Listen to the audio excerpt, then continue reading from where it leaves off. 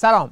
بعد از مدتها شیر خط انداختن در مورد ادعای مندرس انتقام سخت که دو سال بسیجی ها رو توی خمانی نگه داشته عزما دید در این اوضاع احوالی که جنگ هست و شهر شلوغه ما هم یک جفتک موشکی بزنیم تا یه حالی به بسیجی های تو سری خورده بدیم. حالا اینکه این موشک به کجا قرار بخوره چه نتیجه داشته باشه رو خود سپاه نمی‌دونست. فقط می‌دونستن که باید یک موشکی شلیک بشه. اینطوری بود که حوالی یک بامداد 22 اسفند یه دوجین موشک روانه اربیل کردند.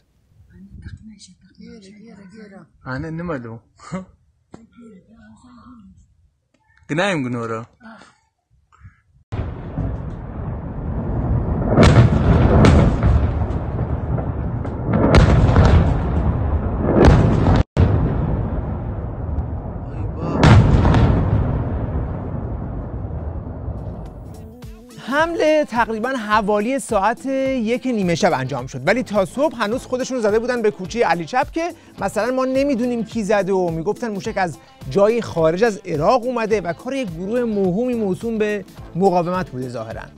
مسئولان منطقه کردستان عراق می‌گویند موشک هایی که به اربیل برخورد کرده از جایی در خارج از عراق شلیک شده است. خب قطعا پایگاه های جاسوسی رژیم صهیونیستی در منطقه جزء اهداف قطعی جبهه مقاومت قرار داره و در انتقام از خون شهدای مقاومت هر لحظه ممکنه این پایگاه مورد هدف قرار بگیره. تا ساعت 11 صبح هم هنوز با خودشون تعیین تکلیف نبودن که بالاخره این موشک هایی که از خارج از عراق اومده رو مسئولیتش رو بپذیریم یا نه. چون از سخنگوی کمیسیون امنیت و سیاست خارجی مجلس که سوال می‌کنن اونم میپیشه تو کوشه علی چپ که داده ها تایید نمی‌کنه ما بودیم. جمهوری اسلامی ایران اگر تصمیم بگیرد انتقام بگیرد انتقام جمهوری اسلامی ایران بسیار بسیار جدی سخت آشکار شفاف و پشیمان کننده خواهد بود. اینو گفته باشم. در مورد این قضیه داده هایی که من تا به این لحظه دارم نشون نمیده که ما نمی‌تونیم تایید کنیم این ادعا رو. نمی‌تونیم تایید کنیم داده های ما چنین چیزی رو نشون نمیده. طرف سخنگوی کمیسیون هم امنیت هم سیاست خارجی پس میگه من داده ندارم. بابا از صبح ملت تو کامیاران فیلم های موشک های شلیک شده شما رو تو مجازی گذاشتن. دیگه دنبال کدوم داده بودی که بفهمی کار خودتون بوده؟ پس سوال اول اینه مگه شما خودتون بعدش اعلام نکردید که کار خودتون بوده دلمون خواست خوب زدیم و اینا؟ خب پس چرا همون اول که زدید ترسیدید اعلام کنید که کار خودتون بوده ها؟ شما که موشک رو خودتون شلیک کردید این که دیگه نیاز به تحقیق نداشته که میگی از یه جایی خارج از عراق زدن داده نداشتم و این حرفا. پس چرا همون اول نپذیرفتید؟ چون یه موشی توی موشک پرونیتون بوده. اونم اینکه خودتون پاتون صفر نبوده که دقیقا کجا رو زدید و چند نفر کشته شدن. به خاطر همین ده دوازده ساعت طول کشید که مطمئن بشید که هواپیمای مسافربری سفارتی چیزی رو دوباره نزده باشید. که اماکنی که مورد هدف قرار گرفته بودن اماکن عمومی نبوده اماکن شهری نبوده و اینکه پایگاه های عراقی نبوده بلکه یک اماکن خاص و سری در اربیل بوده و خود مردم کردستان هم تاکید دارن به هیچ شهروند کرد عراقی هم آسیبی نرسیده. هرچند آمریکایی ها می‌گویند هیچ کدام از مراکزشان در عراق هدف قرار نگرفته است. پس معلوم شد این همه که میگید موشک نقطه زن داریم و اینا تا ده دوازده ساعت بعد که زدید خودتون مطمئن نبودید که توی اون مناطق مسکونی کسی کشته شده یا به کنسولگری آمریکا چیزی خورده یا نه. پس ببین وقتی چنین حمله موشکی می‌کنی که اطمینان نداری کجا رو داری می‌زنی خودش یک تصمیم جنایتکارانه است. حالا برای اینکه این حمله جنایتکارانه تو خاک یک کشور دیگر رو توجیه کنند مجبور شدن اعتراف کنن که اون حوادثی که قبلا تو پایگاهاشون پیش می اومد که نصف شب گروم گروم می‌کرد بعد می‌گفتن رعد و برق بوده نمی‌دونم کپسول گاز یه نفر سیگار روشن کرده ترکیده یا روغن آتش گرفته و اینا همش حملات پهبادی بوده. بعد از تحرکاتی که سهیونیستا در ماهای اخیر داشتن نظیر حمله پهبادی به یکی از مراکز سپاه در کرمانشاه عملیات علیه نیروهای مدافع حرم در سوریه لازم بود که یک پاسخ قدرتمندانه به اینها داده بشه. این حمله پهبادی به کرمانشاه در ماههای گذشته که ازش صحبت می‌کنه همون انهدام سوله پهپادها در یکی از مقرهای سپاه بوده که اون موقع می‌گفتن در محل نگهداری روغن موتور و مواد قابل اشتعال آتش سوزی رخ داد. ولی الان مجبور شدن اعتراف کنند که این مرکز تولید پهپاد در کرمانشاه بوده که در یک حمله پهپادی نابود شده.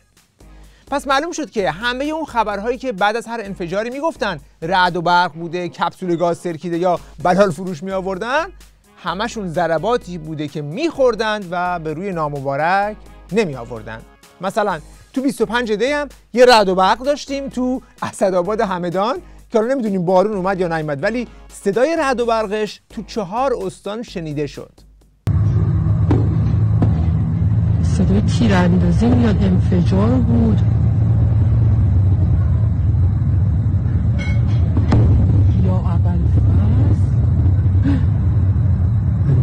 نیست صداهای چی انجام میاد دو سه بار اینجوری صدای انفجار اومد و تیراندازی.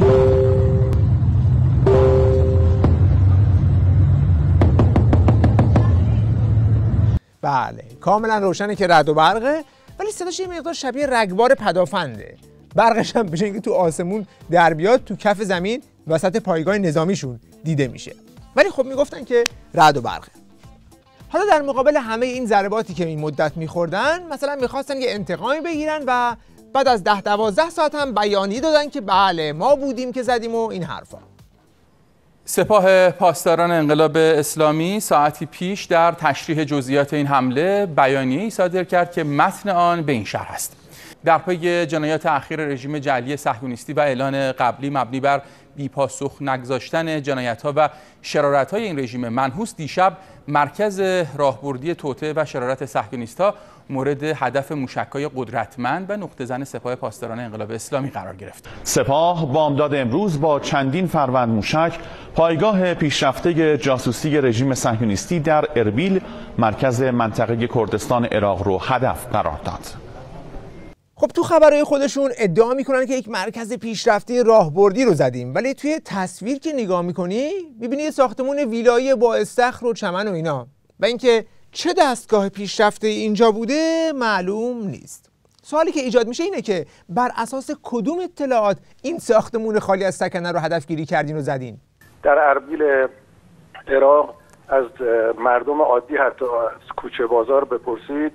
میگن که اینا مراکز جاسوسی سرگینیستی هستن این ساختمون ها یا مراکز آموزشی و قطعا جزو اهداف جبهه مقاومت هستش.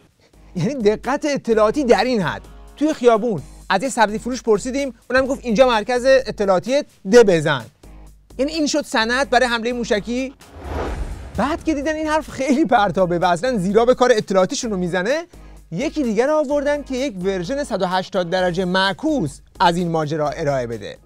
امروز شما نمی‌توانید از هیچ یک از شهروندان استانهای کردنشین عراق و اربیل بپرسید که این منطقه و این دو ساختمانی که مورد اصابت موشک های نقطه زن جمهوری اسلامی قرار گرفته چه بوده؟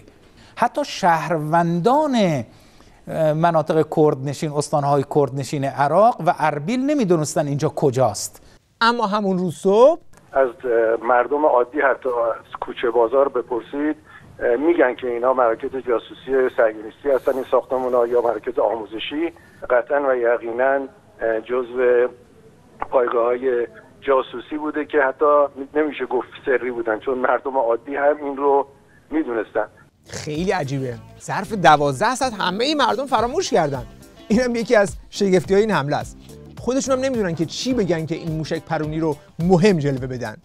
صبحش که قرار نبود مسئولیتش رو به عهده بگیرن. می‌گفتن اینکه مشخص بود که چی و مالکی همه می‌دونستن. خب طبیعی دیگه یکی از این نیابتی هم برداشته و زده.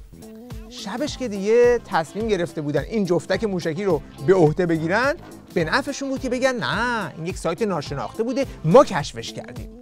ولی اون که به نظر میاد اینه که اینجا یک ساختمون متروکه بوده که کسی هم بهش کاری نداشته و کسی هم توش ساکن نبوده و فقط یک باغبون و نگهبان بهش رسیدگی می‌کردن. بەڵام چەند دوو کەس بە سوکی بریندار بوون یەکیان لێرەیەکێکیشان سایق تەکسیەک بووە کە لێرە بە ڕێکەوت لێرەوە تێپەڕیوە دەنگ و با بڵێن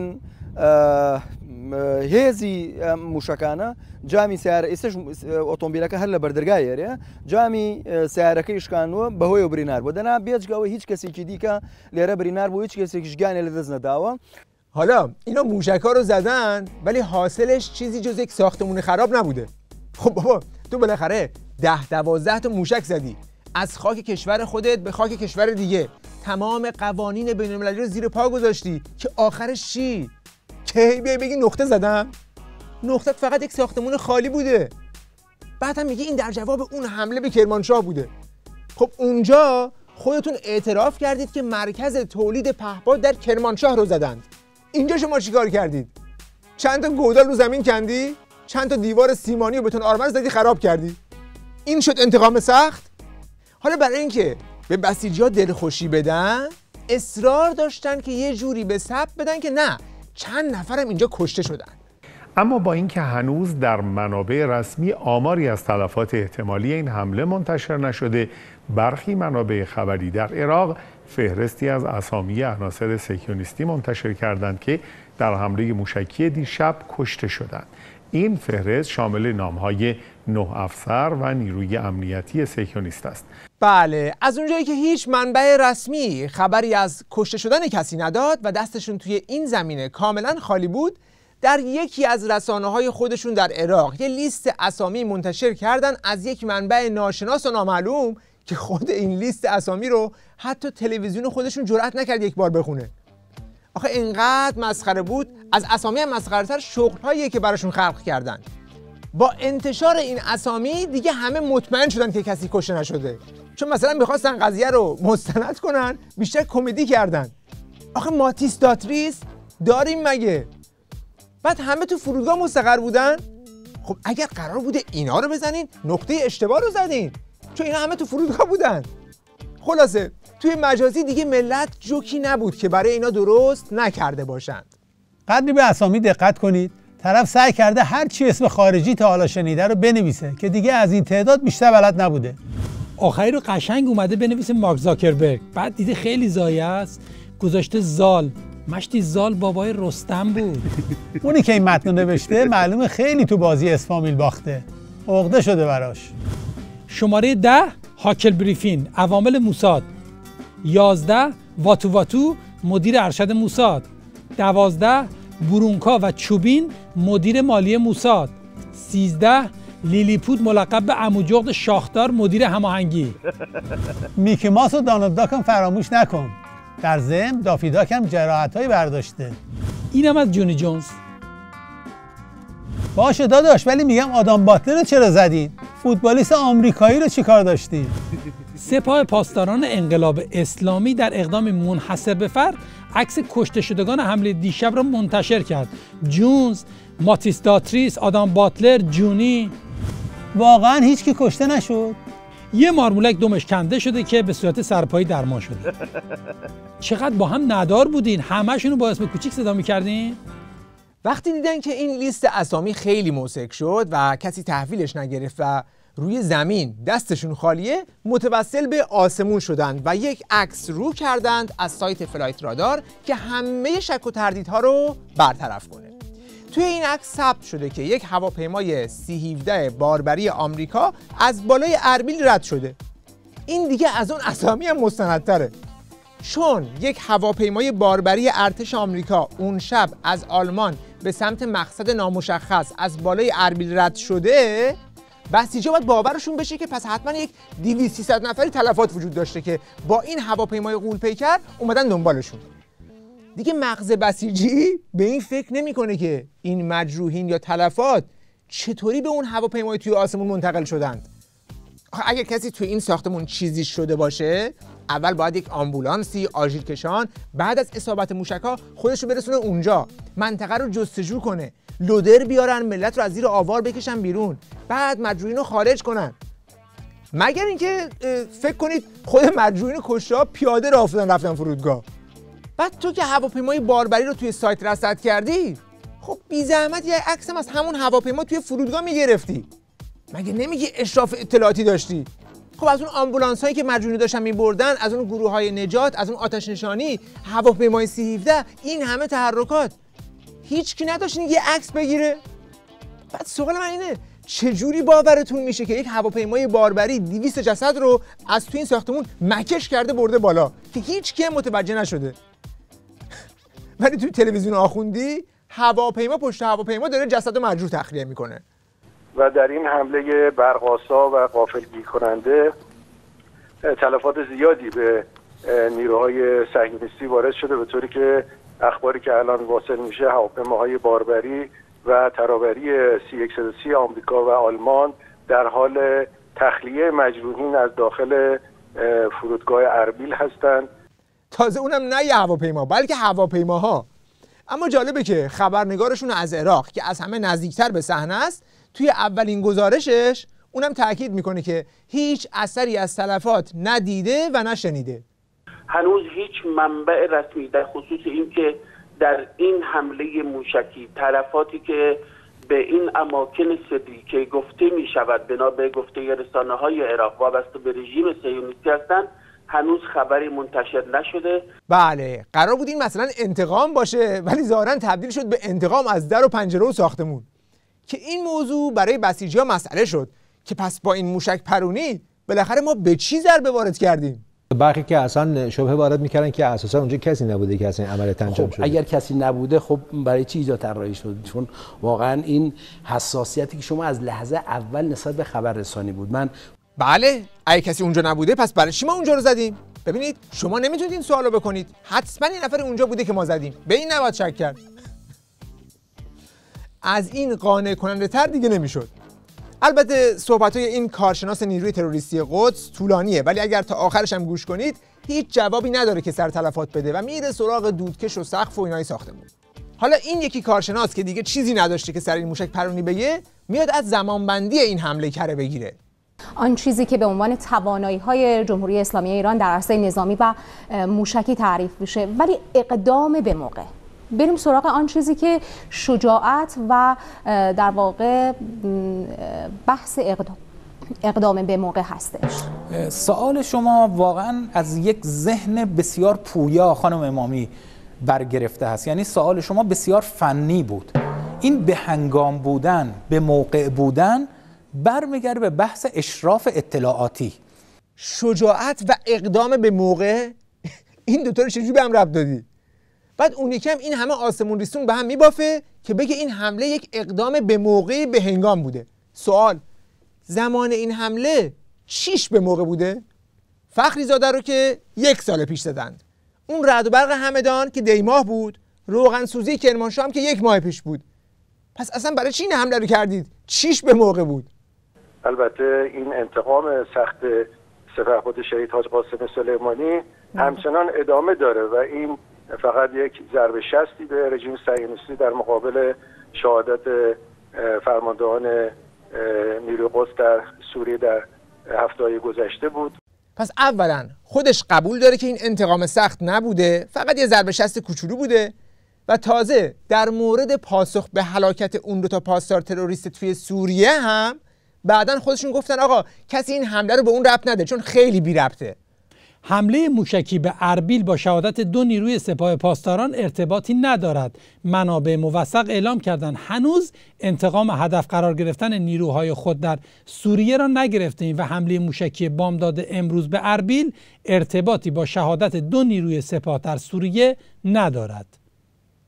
چون دیدن که همه دارن بهشون میگن تو سوریه زدن دو تا فرمانده سپاه رو کشتن. تو اومدی تو اربیل به در و پنجره ساختمون خالی شلیک کردی. این چه ربطی داره به هم؟ به خاطر این داستان رو چرخوندن که نه این پاسخ همون روغن سوزی توی کرمانشاه بوده و کسی هم دیگه چیز دیگه نگه. خلاصه اینکه یه موشک پرونی کردن که خودشون هم از اول نمی‌دونستن که برای چی کردن کجا رو زدن و قرار بوده کی اونجا باشه. تنها نتیجه ای که این جفتک موشکی براشون داشت این بود که معلوم شد همه اون رعد و برقهای قبلی هم ضرباتی بوده که به سپاه وارد می شده ولی می‌خواستن بپوشوننش. البته یه خاصیت دیگه هم داشت که دم عیدی اسباب جوک و شوخی ملت رو فراهم کرد Y me llama el cocinero. Risita, ¿qué? Ve por la paellera. Venga, que las 2 de la tarde ya están aquí. Miren, bañador. En las chanclas. Todo despeinado porque no me dio tiempo nada ponerme las chanclas y el bañador. voy a la playa, había subido la marea. Jesús. Jesús. Había subido la marea y una paella.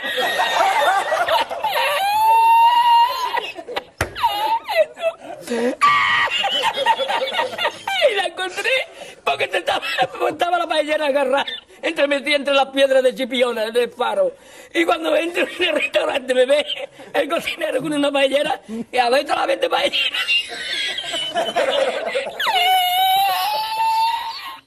بله. نتیجه این که هنوز که هنوزه بسیجی ها تو خماری انتقام سخت وعده داده شده موندند. وقت بخیر و خدا نگهدار.